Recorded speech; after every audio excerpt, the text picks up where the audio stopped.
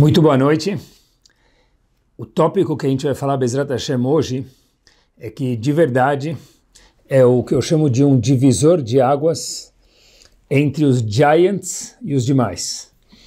Eu tinha um Rav na Meshivá que sempre falava para mim, essa Gemara é o que vai, let's separate between men and boys é o que separa as crianças dos adultos, é o que transforma alguém adulto. Quando eu tinha uma Gemara difícil, um pedaço do Talmud difícil, falava, olha, quem estudar e for até o fim, é isso que vai separar ele dos fracos para se transformar num forte. E eu aplico essa mesma frase aqui, o shiur de hoje, Bezrat Hashem, vai ser o divisor de águas entre uma pessoa giant e os demais. É um tópico que eu acho que a gente talvez nunca tocou direto dessa forma que a gente vai tocar, eu gostaria de ter escutado ele quando eu era menor.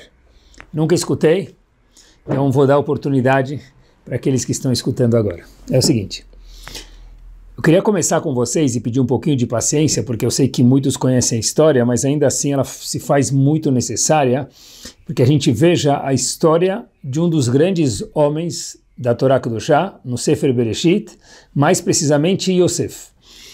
Eu vou pincelar de uma forma sucinta, mas ainda assim queria tomar alguns minutos e acompanhe comigo, porque quando a gente olhar para a história da forma com a qual está escrita, não o que a gente gostaria que tivesse escrito, tem um legado aqui gigante para a gente, para Yosef, para a Torá e para a gente no século 21.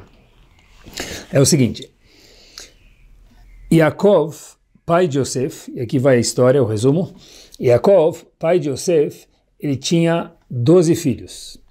Um dos filhos dele se chamava Yosef. Quando Yaakov casou com Rachel, um dos filhos que ele teve com Rachel se chamou Yosef. Os irmãos de Yosef ficaram com muitos ciúmes dele e eles decidem matar Yosef. Eles falam, olha, esse menino aí, jovem, teenager, está causando demais para a gente, pronto, no português claro, e a gente quer se livrar dele. E a forma mais fácil de se livrar de um, de livrar de um problema é tirando ela da frente. Em vez de lidar com o um problema, importante, você fala, olha, vamos tirar o problema da nossa frente. Reuven, o irmão mais velho, se vira para os irmãos e fala só um minutinho, em vez de a gente matar ele, que tal a gente fazer um business? Reuven ficou meio culpado porque ele falou, sou mais velho, amanhã ele vai morrer, se a gente matar, a culpa vai ser minha. Eu falo, olha, vamos vender ele, e aí a gente está com as mãos limpas, a gente de fato não foi lá e ativamente matou ele com as nossas próprias mãos, de uma forma direta.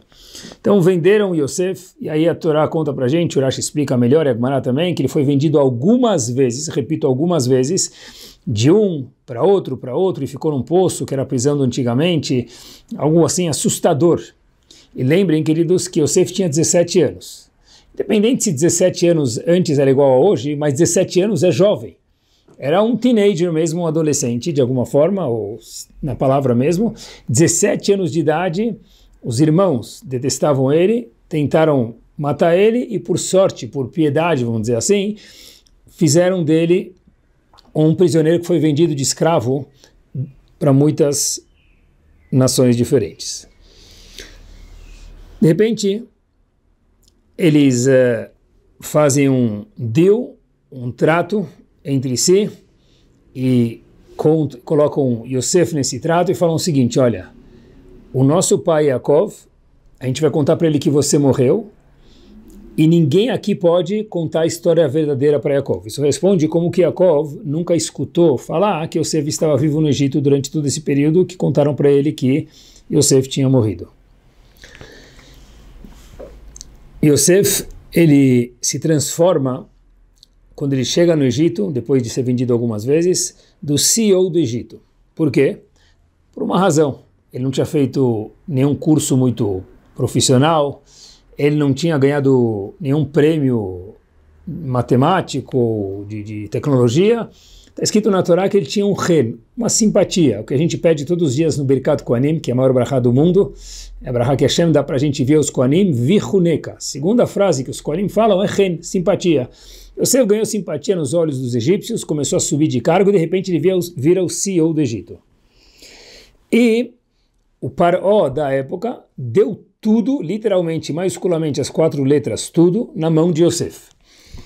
Yosef vira um homem poderoso, E, como se isso não bastasse, meus queridos, aparência de fisionomia de Yosef, ele era um homem maravilhoso. Ou seja, os Rahamim contam para a gente que ele era tão bonito que as mulheres subiam quando ele estava passando de um lado do muro, e as mulheres estavam do outro lado do muro, as mulheres subiam literalmente no muro para dar um look. Não tinha selfie naquela época, mas para dar uma olhadinha em quem era Yosef. Na verdade, era um homem maravilhoso. Ele era um dos homens talvez mais bonitos que tinha na época, ou mais bonito. As mulheres subiam literalmente o muro para olhar ele. Então a gente está falando aqui de um homem bonito, um homem de 17 anos, um homem que talvez agora tinha 20 anos, ele virou um homem muito, muito, muito poderoso. E quando a pessoa tem ascensão política, ascensão monetária e ele é bonito, do outro lado, ele tem seus testes. Ele entra no palácio do Paró e começa a morar lá, até que um dos grandes oficiais tem sua esposa, uma das mulheres maravilhosas do Egito, talvez a Miss Egito mesmo. Ramim contam que era uma mulher maravilhosa e de formas diferentes foi tentando atrair ele. Tem Midrash sobre isso, tem Agmará no Tratado de Sotá sobre isso. E de repente Yosef chega num ponto que ele, a Torá conta Vaimaen, ele teve que se segurar, porque ele quase, nos 45 do segundo tempo, ele quase que acabou escorregando com a esposa desse grande oficial no Egito. Óbvio que a gente fala aqui de Yosef, um homem grande, para não traduzir para os nossos dias de, um ator de cinema e nada sem comparação, mas um pequeno deslize para aquele homem já era muito, porque ele era um homem muito, muito, muito grande. Que a gente pega um carro do ano, um risquinho pequeno já fica muito aparente. A gente pega um carro antigo, mais um risco, menos um risco, não aparece tanto. Então, para homens grandes, quando a Torá fala que ele fez uma verá, na verdade é uma lasquinha, mas no nível dele era algo grande. E a nossa Torá já conta para a gente, não esconde os erros, para que a gente possa aprender. E todo ser humano erra, e os maiores consertam. Yosef, voltando, a Torá diz, Vaiman teve que se segurar, e acabou não fazendo a verá com a esposa de Potifar, desse oficial. Porém, Agmará no Tratado de Sotai, só Agmará pode contar para a gente isso, porque Agmará é o cérebro de Hashem.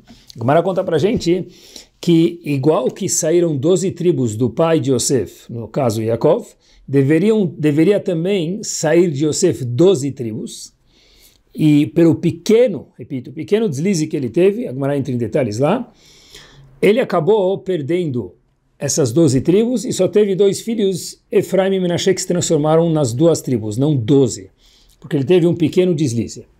Mas, ainda assim, já que ele saiu dessa para melhor, ele ficou para sempre chamado de Yosef Hatzadik, Yosef o justo. Ah, mas ele errou, sim, mas logo o erro foi pequeno, então já merece um merecimento gigante, e logo em seguida ele consertou, então para sempre ele ficou chamado de Yosef Hatzadik, o justo.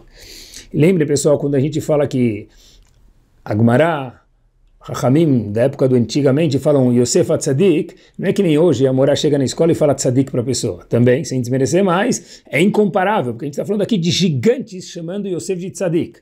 Hoje todo mundo é Tzadik. Mas na época antigamente, para ser Tzadik, você tinha que ter, passar uma prova gigante. Yosef levou esse termo.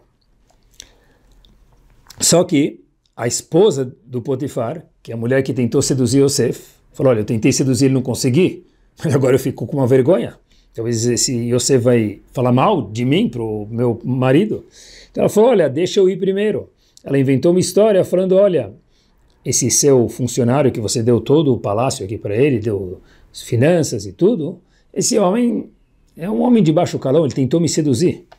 Big Boss, o que, que faz? Fala: Sério? Imediatamente para a prisão. Você foi da prisão para ser o homem top do Egito e a ascensão dele foi grande, mas o colapso também foi grande. Ele voltou a ir para a prisão de novo. Anos depois, repito, anos, plural, depois, dois ministros sonham, eles têm um sonho e Yosef interpreta o sonho deles, mas ninguém nem dá bola para ele, não dá nenhum prêmio para ele. Ele fica mais dois anos na prisão depois dessa interpretação de sonho, que é favorável a um dos ministros e esqueceu dele. Agora, o Paró sonha. E o Paró fica intrigado com seu sonho.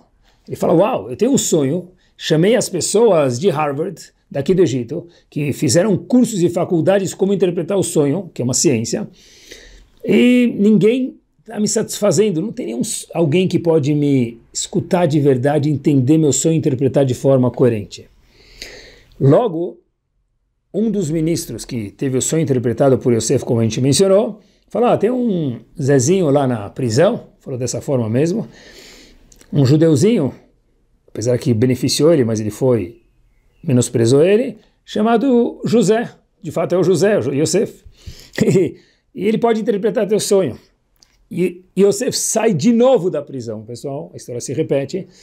E o farol, quando escuta a interpretação dele, fala: Você é o cara. Daqui para frente, tudo que eu tenho é seu. E de novo Yosef volta para a Casa Branca lá no Egito e vira o homem de novo pela segunda vez. Ele salva o Egito da fome, salva os irmãos da fome. E terminando a história de Yosef, eles, pai de Yosef, depois de 22 anos distante do seu filho, escuta que Yosef está vivo. Yaakov, pai de Yosef, escuta que Yosef está vivo. Ele não acredita. Ele fala, eu não consigo acreditar. Yaakov desmaiou, diz a Torá para gente. E a pergunta é, o que, que fez o eco na cabeça de Yaakov desmaiar, meus queridos? Se Yaakov nunca recebeu consolo pela morte de Yosef. Todo mundo falou, como a gente mencionou antes, que Yosef tinha morrido. E Yaakov tinha um feeling, um sentimento que eu não consigo sentar de luto por esse menino, por meu filho, porque ele tinha um feeling que ele não faleceu. Então, quando ele escuta que seu filho está vivo, ele desmaiou. Mas o que, que fez ele desmaiar se ele já tinha um certo feeling, sentimento que o seu filho estava vivo? Se a gente olhar direito, Chachamim contam para gente que quando ele chegou perto, ele olhou para ele e falou: Uau, eu não consigo acreditar. Eu não consigo acreditar. Você, Yosef, está vivo não como pessoa, fisicamente dez dedos se movendo, o nariz se mexe, respira, a boca fala e o ouvido escuta. Ok, isso é muito top. Mas mais do que isso, como que você está vivo como um Yehudi? Você saiu de casa com 17 anos de idade. Bonito, famoso, rico, governou o país, duas vezes, dois mandatos, os seus irmãos fizeram bullying com você, hoje esse menino estaria onde? Onde ele estaria? Depois de passar por tudo isso. Não teve pai, porque com os 17 anos foi mandado embora de casa, os irmãos levaram ele, e até agora, 22 anos depois, não teve pai, não teve mãe. Você, Yosef, saía no Egyptian Times, jornal do Egito. Primeira página todos os dias, se encontrando com ministros, presidentes de outras nações, reis de outras nações, todo o glamour. Torá, zero. Onde tinha Shur no Egito? No mundo. Só perto da casa de Yaakov. Minyan, sinagoga, zero. Kiddush, zero. Sushi, com Shur, zero.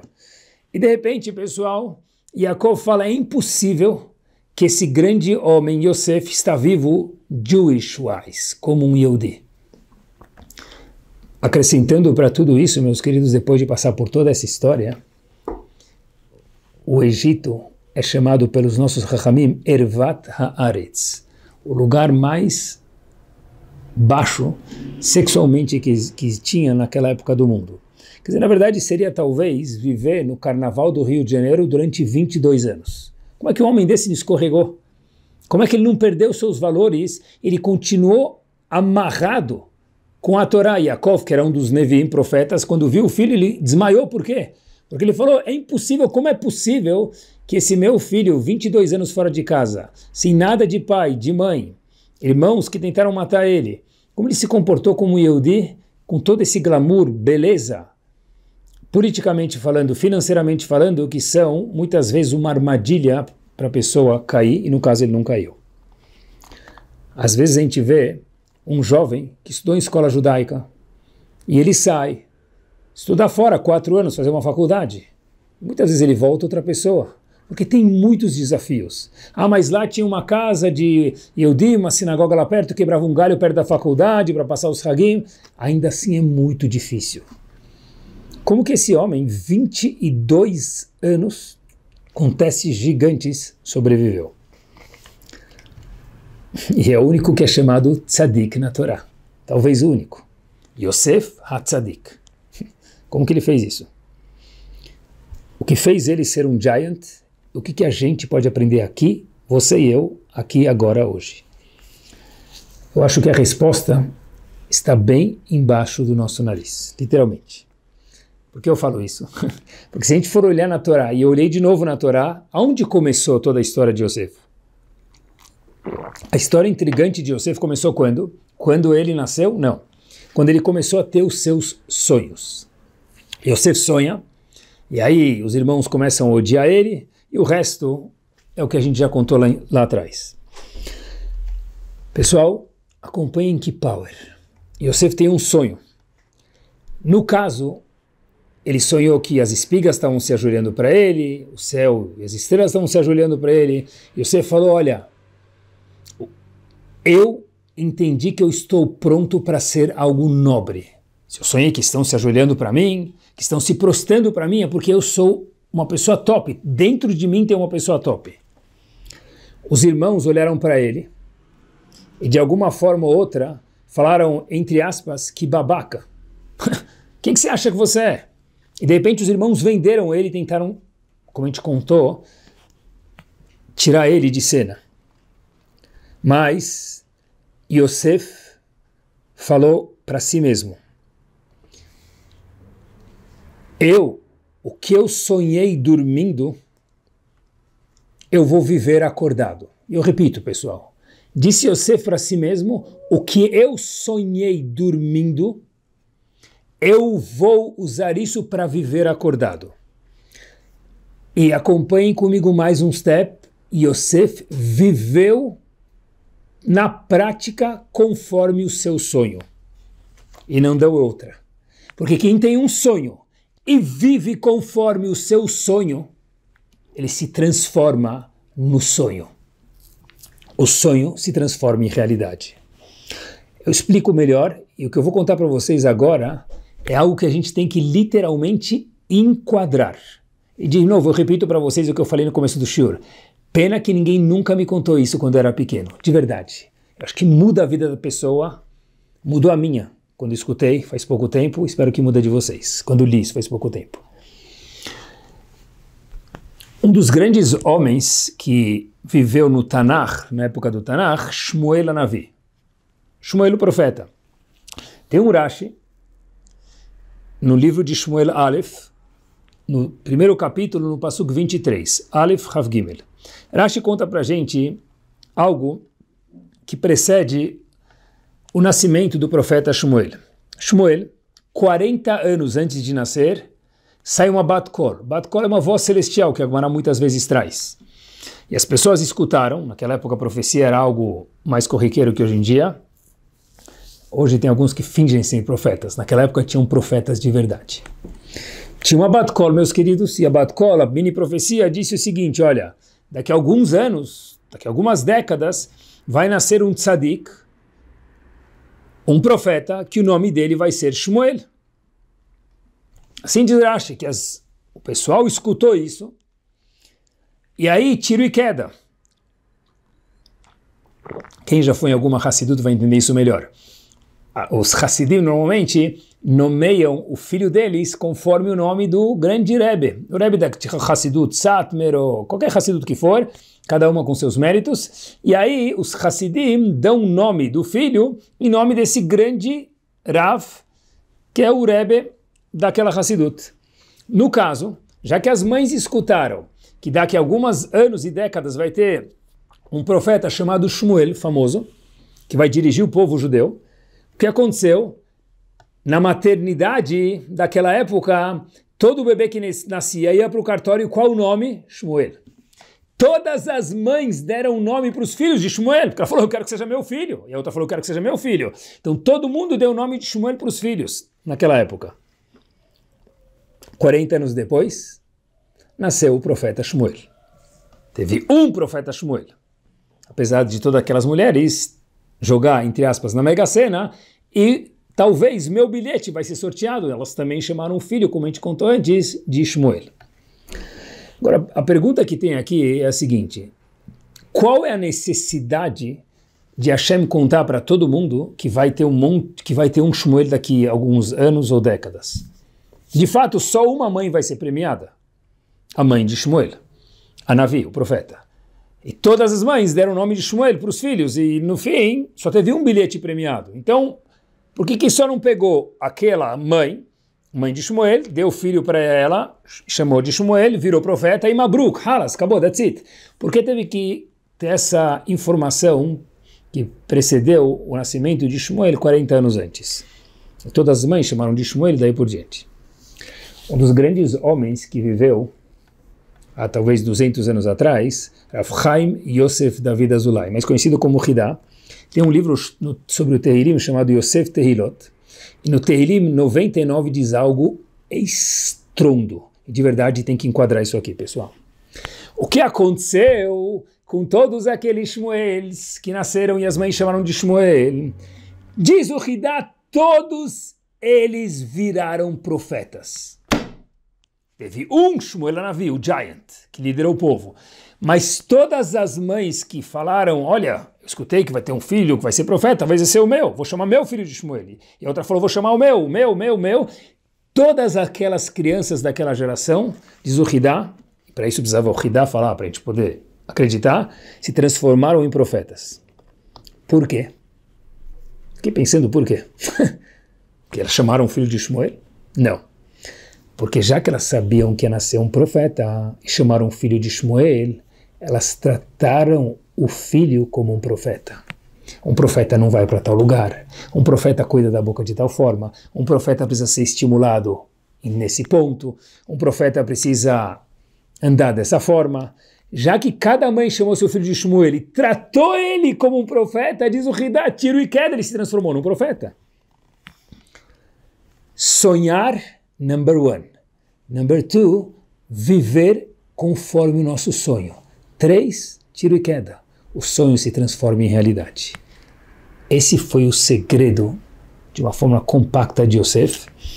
Esse foi o segredo de todos aqueles Shmuelis que se tornaram profetas.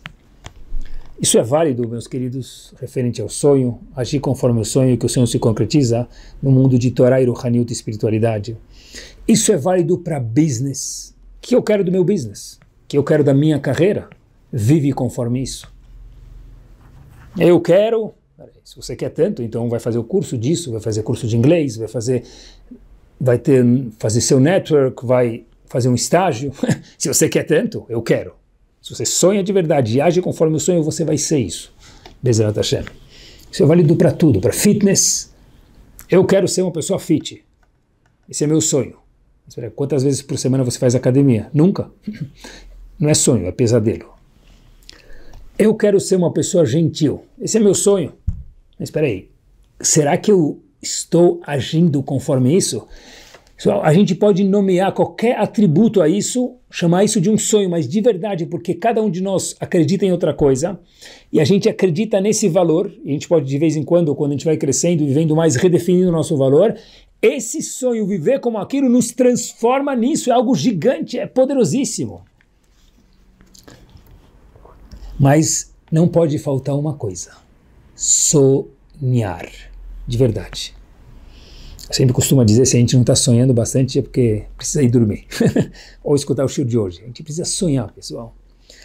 Eu vejo que, Baruch Hashem, hoje na nossa geração, todos os jovens são maravilhosos, de verdade. É, jovens são algo espetacular, um, assim, um potencial em vida. É, todo jovem eu vejo como um potencial mutante, de muitas coisas maravilhosas.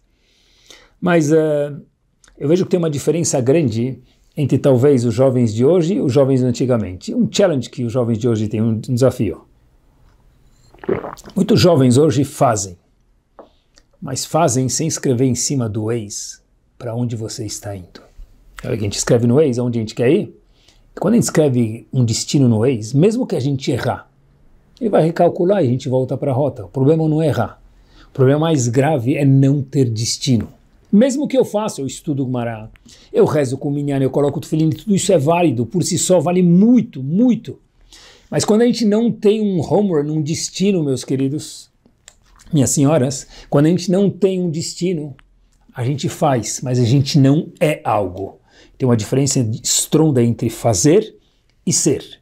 Yosef sonhou, viveu conforme e virou. Ele só não fez atos aleatórios, porque senão nunca teria se tornado no grande Yosef que a gente conhece. Aqueles Shmuels nunca teriam se tornado aqueles grandes Shmuels se não tivessem o gol, o objetivo, escrito lá em cima, no ex deles. Você chegou ao seu destino. Qual destino? Se eu não tenho destino, eu estudo, eu como, eu bebo, eu trago parnassá para minha casa, eu faço mitzvot, eu cumpro o Shabbat, Mabruk. Topíssimo! Mas um minuto. Qual é o nosso objetivo? Cada um tem um diferente. O pior de tudo é não ter objetivo. É curioso que Paró também sonhou, entre parênteses, mas não saiu nada dele. Ficou no Hazaku Mabruk, Hazaku Baruch. não saiu nada. Parou, morreu, ficou para Orachá. Não fez do seu sonho se transformar numa pessoa grande. Porque parou, sonhou, mas não agiu conforme. Yosef sonhou, que é o must, ter um sonho na vida. A gente tem que ter um sonho. Depois de sonhar, agir conforme. A gente vai se transformar. E se não bastasse o que a gente contou, eu queria adicionar um ponto importantíssimo para o que a gente está falando agora, meus queridos o ano de 1888. Na contagem laica, 1888. Havia um químico, Alfred. Procurem depois no Google. Havia um químico, Alfred, lendo o jornal francês. Ele teve uma surpresa desagradável de alguma forma. Mas ele transformou ela em algo maravilhoso. Acompanhe comigo. Ludwig, o irmão de Alfred, faleceu. Porém, o jornal francês confundiu Ludwig com Alfred. Mais uma vez, quem faleceu foi o irmão dele, Ludwig, e Alfred estava em vida. Mas Alfred abre o jornal, na primeira página o que está escrito? Alfred faleceu. No jornal francês apareceu a seguinte matéria: Le marchand de la mort est mort. O mercador da morte está morto. Ele falou que estranho. Ele leu o obituário dele em vida. Quem era Alfred? Por que, que chamaram ele o mercador da morte está morto? Porque Alfred Nobel inventou a dinamite. E falaram: olha, aquele homem que trouxe morte ao mundo, dinamite, ele está morto, porque ele era o famoso. Acharam que ele morreu em vez do irmão. Na verdade, quem morreu foi o irmão Ludwig. Por um lado, ele ficou muito chateado, que falaram que ele morreu, mas por outro lado, ele falou: Uau, eu tive a oportunidade de ler em vida o que vão falar de mim em morte. O que, que Alfred fez? O que todo mundo conhece prêmio Nobel. Ele ganhou um valor grande em vida pela sua invenção da dinamite, aplicou esse dinheiro e falou: Eu quero que grande parte, a grande maioria do dinheiro dele foi para isso, que os juros disso, desse valor grande, vão ficar para a humanidade para dar prêmio de literatura, matemática, ciência e outros prêmios que tem do prêmio Nobel. Hoje em dia, quando se fala de Nobel, todo mundo sabe do prêmio Nobel. Alfred Nobel deixou sua fortuna para promover o prêmio Nobel, daí vem o nome Nobel, sobrenome dele. Poucos sabem que Alfred Nobel inventou a dinamite. No começo, Alfred Nobel era o mercador da morte. Ele se transformou no prêmio Nobel, um homem que dá prêmio para pessoas que fazem coisas maravilhosas para o mundo, na, mundo, na parte da ciência ele viu em vida o que iam falar dele depois. Ele backwards viveu a vida agora de trás para frente. Falou, peraí, se eu quero que falem diferente de, de, do, que eu, do que estão falando hoje, que tal eu começar a agir de forma diferente? E por isso que quando se fala de prêmio Nobel, se lembra de Alfred Nobel ou vice-versa. Nem se fala de dinamite, mas ninguém nem sabe que ele inventou a dinamite. Why? Porque ele mudou o curso do que iam falar dele. Como? Agindo conforme. A gente fala no Lechadodi, sexta-feira à noite, Sfaradim, Ashkenazim, Hassidim, Toduzim, falam o Lechadodi. Sexta-feira à noite, Kabbalat Shabbat. Sof Maase Bemahashava Techila. Sof Maase, falando sobre Hashem, o fim do ato Bemahashava Techila, já foi premeditado no pensamento inicial. Ou seja, no caso de Hashem, Hashem, quando fez o mundo de tal forma, ele já premeditou que o mundo ia ser assim quando criou o mundo. Hashem já viu isso antes de criar para que o mundo fosse assim. Parece uma frase muito simples, né? Mas é nada simples, é muito complexa, é muito power. Se a gente quer ter um sof masé da forma X, diz o passo para a gente, pensa antes como você vai chegar lá viver a vida de trás para frente. Sof eu quero que falem isso de mim, eu quero que eu ser, eu quero ser isso, eu quero ser visto dessa forma. Sof maase, Habibi, how? Como? Pensa antes como chegar a isso. Alfred Nobel viveu de trás para frente. E um dos truques nos nossos 120 anos de vida maravilhosa e com muita saúde também é viver de trás para frente. O que, a gente quer que falem na nossa, entre aspas, Wikipédia, pessoal, depois dos 120 anos bem vividos? Eu não sei o que a gente quer. Cada um tem um gol, tem um objetivo, tem um sonho. Espero que tenha depois do show de hoje. Mas esse sonho tem que ser nutrido conforme, agir conforme o sonho. Se eu tenho um sonho, primeiramente, eu preciso nutrir ele e viver ele conforme o que eu sonho.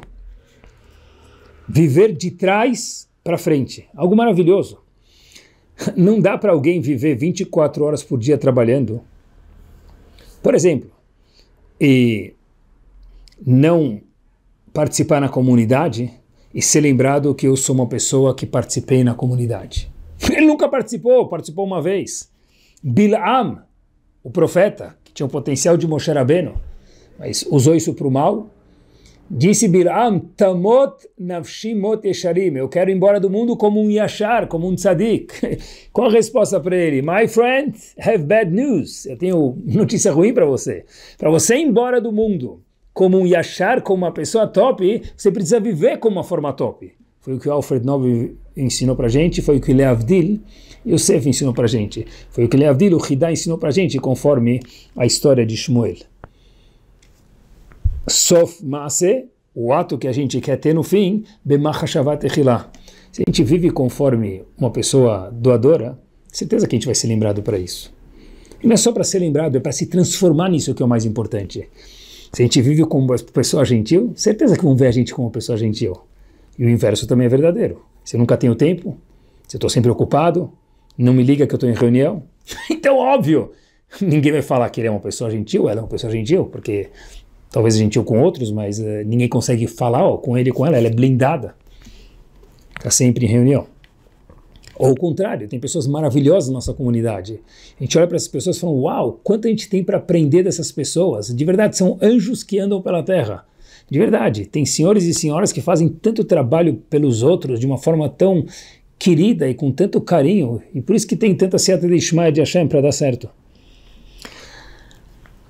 O que somos hoje, meus queridos, disse Ravolbe uma vez, é produto dos sonhos de 10 anos atrás. Quer dizer, aquele que não sonhou com nada, acabou, faz mitzvot, trabalha, mas não é nada. Por quê? Porque não sonhou com nada. E aquele que sonhou, virou. O que somos hoje é produto dos sonhos de 10 anos atrás. E o que nós vamos ser, Bezrat Hashem, daqui 10 anos com saúde, pessoal, vai ser produto dos sonhos que nós temos hoje. Ou seja, sonhar faz uma diferença.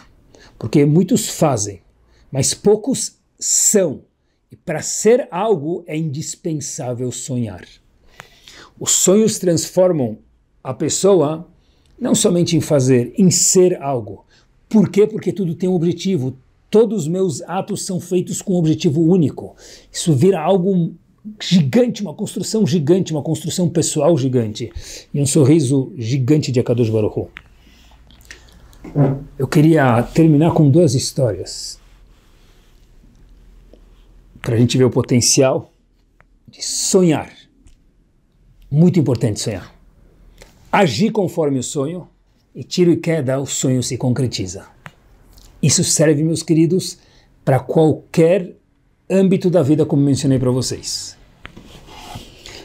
A história se passa em Lodz.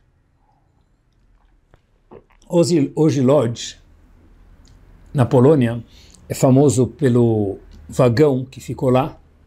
Eles deixaram um vagão que transportava os Eudim na época da Segunda Guerra para os campos, um vagão original, onde a pessoa pode entrar lá, entre aspas, se a palavra certa é visitar, porque eu acho que é um pouco deprecia os que viveram antes, naquela situação, mas é, talvez visitar, vamos falar, aquele vagão, a pessoa sentir um pouquinho, 0,001 do que sentiram naquela época, entender um pouco a perspectiva histórica e vivenciar um pouquinho naquele vagão, os Yehudim que foram na Segunda Guerra, transportados, Yehudim, não Yehudim, de Lodz, de outros lugares, para os diversos campos de concentração naqueles quatro ou cinco anos. E em Lodz havia um gueto. No gueto de Lodz, os alemães, Rechaim, malvados demais, mas eram muito inteligentes, demais. O que, que eles faziam? Quando algum Yehudi se comportava mal, ainda nos guetos, no, mais precisamente no gueto, no gueto de Lodz, eles faziam um tribunal contra o próprio Yehudi que se comportou mal, e quem tinha que estar no tribunal eram os Yehudim. Havia somente um alemão participando, mas esse alemão, óbvio, com todo o seu poder, da sua arma, todo o seu temor, influenciava nos outros. E por que, que eles faziam isso? Porque se aparecesse a Cruz Vermelha, ou algum órgão governamental lá, e perguntasse quem mandou matar esse Yehudi, então, o tribunal deles próprios. Eu fui só uma das pessoas no tribunal, mas quem escrevia os argumentos era um Yehudi, quem julgava o caso era um Yehudi, o acusador era um alemão, mas todo o resto era um Yehudi. E a história que se passa no gueto de Lodz verdadeira é a seguinte, meus queridos. Havia uma mulher que trabalhava na cozinha no gueto de Lodz, quem trabalhava na cozinha tinha o privilégio de poder ter um pouco mais de comida do que os outros famintos Eudim que moravam no gueto. E uma mãe chega para essa mulher, vamos chamar essa mulher que trabalhava na cozinha de Sará, história 100% verdadeira, só os nomes são fictícios. A mulher Sará que trabalhava na cozinha, vê uma mulher para ela e fala, olha, eu tenho sete filhas. E esses meus sete filhos vão morrer de fome se você não me ajudar com alguma coisa. Sarah vira para ela e fala: Olha, eu não posso tirar nada da cozinha, porque se eu tirar ser morta, se alguém me pegar. Essa outra mãe vira para ela e fala: Se te pegar, você vai ser morta. Mas eu certeza você vou morrer, eu e meus sete filhos, porque a gente não tem nada para comer aqui no gueto. Sarah, aquela mulher que trabalhava na cozinha e tinha, entre aspas, mais uma vez um privilégio, pegou um pouco de pão, colocou embaixo da roupa e levou ela foi pega, foi vista e foi para o julgamento. Quem estava no julgamento? Yehudi, como eu contei para vocês, e um alemão. O alemão vira para ela e fala: Você fez o crime capital de tirar pão da cozinha dos alemães para levar para você próprio comer fora do gueto. Ou comer na sua casa, isso é proibido. O que, que você tem a dizer? Se você não fala nada, nós vamos quebrar os seus ossos. Foi isso que o alemão falou. E quem escrevia o julgamento era um Yehudi. Tinha que escrever, tudo para deixar o repórter lá recordado para depois, qualquer coisa, a cruz vermelha aparecia, estava tudo escrito. Quem julgava era um Yehudi. Do lado dessa Sará, a mãe que levou comida, havia a filha dela, escutando o julgamento. E ela olhou para a mãe e falou: Mãe, fala alguma coisa. E a mãe não fala nada. E ela cutuca a mãe e fala: Mãe, fala que o pão não era para você, era para ajudar outra mulher, talvez vai te salvar. E a mãe não fala nada.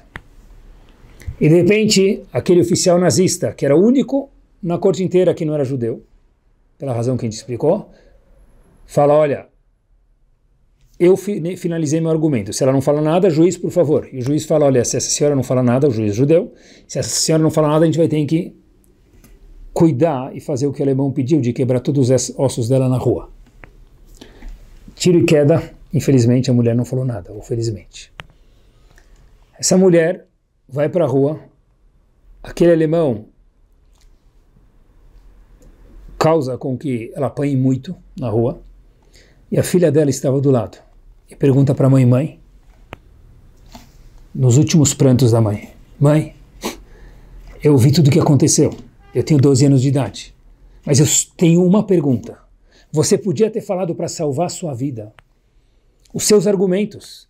Eu fui pegar pão para uma outra mulher que estava morrendo, não era para mim, talvez ia te salvar. Por que você não tentou isso? E Sará, aquela mulher que trabalhava na cozinha, meus queridos, vira para a filha e fala Shabbos. Shabbos quer dizer Shabbat. E a filha não entendeu nada. Shabbos? Sarah fala muito fraco, seus últimos esforços e respiros, caída no chão, depois de tanto apanhar. Falou: o julgamento que eu tive foi sexta-feira à noite. E todos os Yehudim que estavam na corte são Yehudim, menos aquele alemão. Quem julga é Yehudi, quem escreve os argumentos é Yehudi, quem deixa recordado tudo escrito nos documentos alemães é o Yehudi. Se eu falasse que eu fui pegar pão para salvar outra pessoa, quem ia escrever isso lá na máquina de escrever? Uma Yehudiá, um Yehudi. Sexta-feira à noite, eu vou causar um Yehudi de fazer Hilul Shabbat, profanar o Shabbat para salvar minha vida? Shabbos. E com isso ela deixa a vida nesse mundo. Pessoal, essa é a diferença entre viver por algo com objetivo ou fazer algo. Queria contar mais uma história para vocês. O que aconteceu depois? Meir, agora até o nome é verdadeiro, Meir teve um sonho um dia. E o sonho dele é que os Eudim do mundo inteiro que estivesse estudando Gumarás pudesse estudar a mesma página. Para quando um estivesse viajando, encontrar outro Yehudi, pudessem falar do mesmo assunto, da mesma página de Gumará, da mesma página do Talmud, aonde ele estivesse no mundo. Era um sonho que ele tinha. tinha. Ele estava estudando com o seu Rebbe, e a filha do Rebbe, que eu sei o nome, o nome ficou famoso depois, mas eu me incomodo de falar porque eu não vejo o propósito, então eu vou pular. A filha desse Rebbe falou para ele, para Meir, era uma criancinha essa filha, fala, por que você gasta tanto tempo pensando nesse sonho? Você podia estar estudando Torá, virando um gigante, você fica pensando nesse teu sonho de todo mundo estudar uma mesma página do Talmud e fica matutando isso na cabeça. Isso tira o teu tempo de fazer outras coisas e virar um gigante. Anos passaram. Esse Meir, famoso, virou Rosh Shiva de Lublin, Rav Meir Shapira de Lublin. Rosh da renomada Yeshiva de Lublin.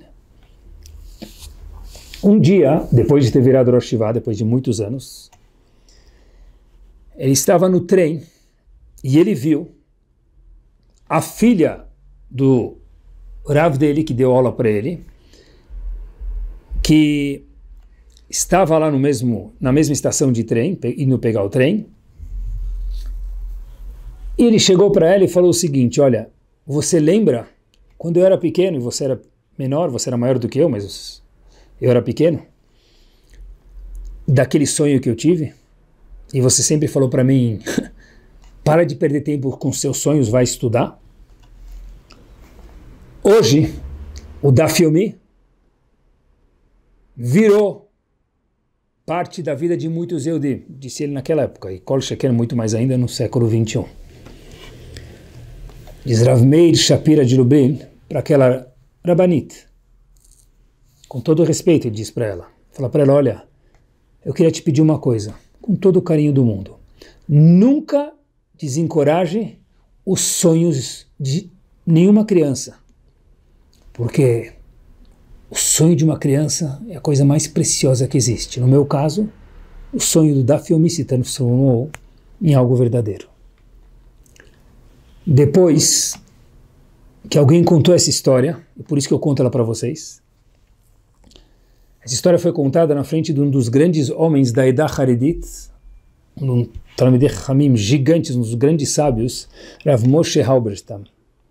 Moshe Halberstam, quando escutou alguém contando essa história para o outro, disse a palavra Emet, a história verdadeira. E perguntaram para ele, da onde você sabe? Ele, como eu sei? Eu sei porque eu escutei da minha mãe. Minha mãe estava presente na estação de trem quando Rav Meir Shapira de Lublin falou isso para aquela outra senhora. A história é verdadeira. Sonhemos, vivemos conforme os sonhos, nunca desincentivar o sonho de uma criança. A gente pode transformar aquele mercador da morte, aquele que inventou o dinamite, no ilustre prêmio Nobel. Vive a vida de trás para frente, de frente para trás e fala, Hashem, o que eu quero que falem de mim, agir conforme. E lembra, eu acho que esse foi foi a vitamina que fez Yosef ser Yosef Atzadik. Ter um sonho, viver com um sonho, e aí tiro e queda, com a ajuda de Hashem sempre, o sonho se transformou em realidade. Semana maravilhosa cada um de nós.